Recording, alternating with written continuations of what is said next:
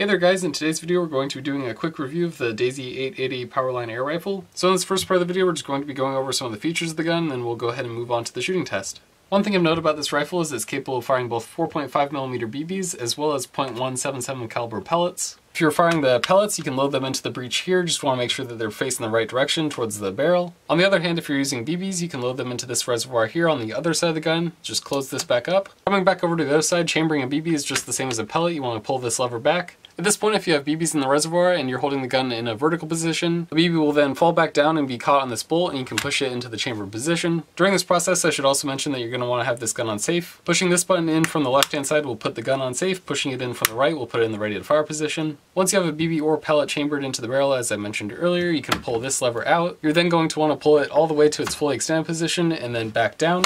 Then you'll want to repeat that process depending on what type of ammo you're using. If you guys are using BBs, I've found that 4 to 5 pumps works pretty well. On the other hand, if you're using pellets, I usually pump it 9 to 10 times. Then once you guys are ready to shoot, you can aim at your target, push the safety off, and then pull the trigger. So in the kit that I'll link you guys in the description below, it should come with some BBs, some pellets, as well as a scope. The optic that comes with the kit is a 4x15 scope. If you guys would rather not mount the scope, you can also use the iron sights that are included. The front post is here, as well as the rear sight here.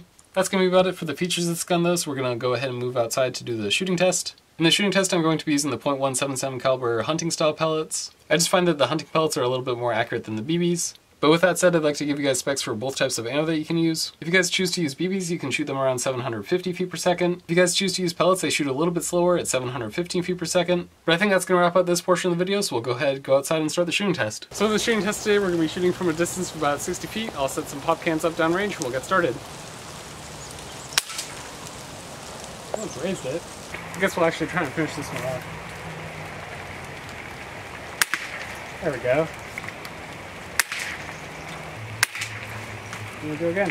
So one of the things I'm noticing is I might have to dial my sights a little bit. They seem to be shooting just off to the right. They're grazing the cans on the right hand side. But I still think this is a wonderful little gun for target practice. It can use both BBs and pellets, which I enjoy. But overall, I just really enjoy shooting this gun. So if you guys are looking to pick one up yourself, I'll have a link in the description to where you can find one. Other than that, guys, I'll have some anti videos on the right as usual and links in the description below if you're looking for more to watch. That's gonna be it for today's video though. As always, thank you for watching. I will see you in the next one.